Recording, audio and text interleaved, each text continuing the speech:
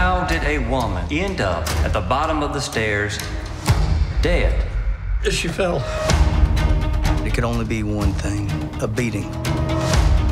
Sooner or later, everyone's gonna know who you all are. It's fiction. It's fabrication. Family is all we got.